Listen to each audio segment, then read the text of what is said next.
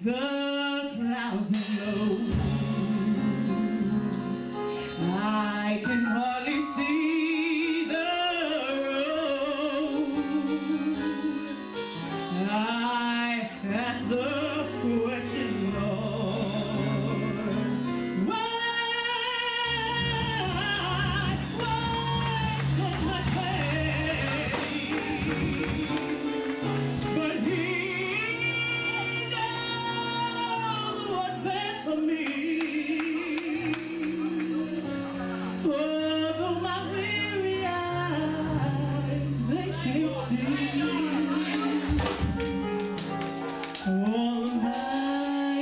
good days outweigh my bad days.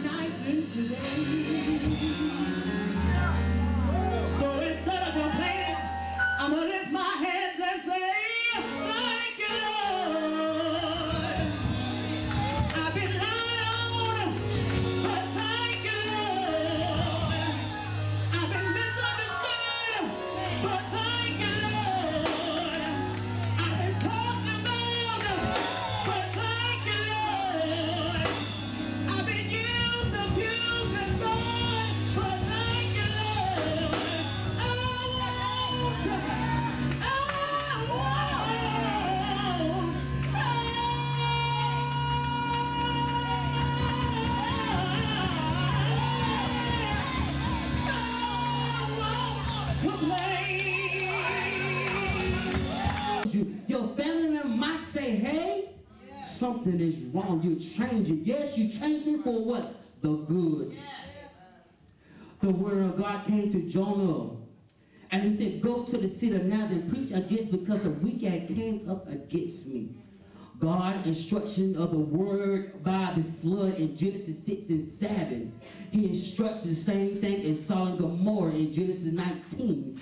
He threatened to destroy now to show there there's no limit to sin. Say amen.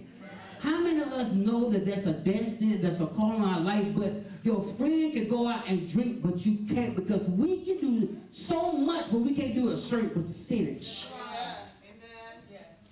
You might can go out clubbing, but I can't. You might can drink that wine or that, but I can't. Because I know I'm be held accountable more than you because I know better. Say amen. Jonah said, no, I ain't going. What we do, we try to run.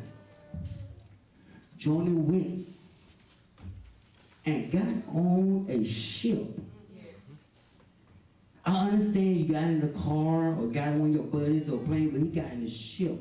How many know God controls the seas as well?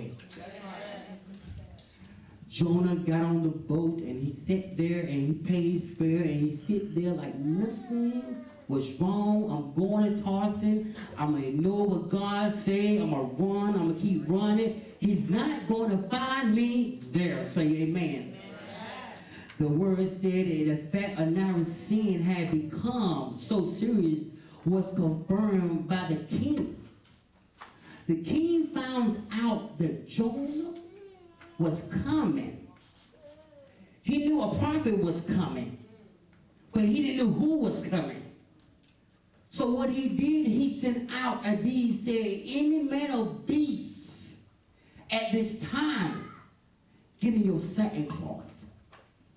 Because the anger of God is upon us because our sins, our weakness, say amen. We have done so much and God said, hey, I'm sending my prophet.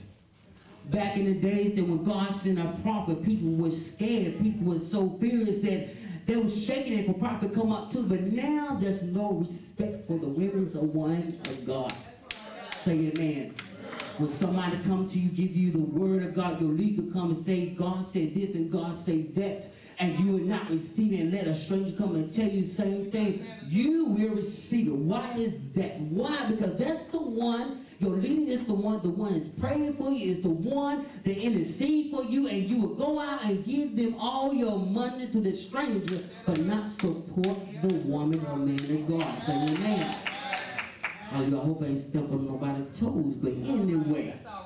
Hallelujah. Jonah went there, and hallelujah, and it said here, but the Lord sent a great wind into the sea, and there was a violent tempter in the sea. So the ship was about to be broken.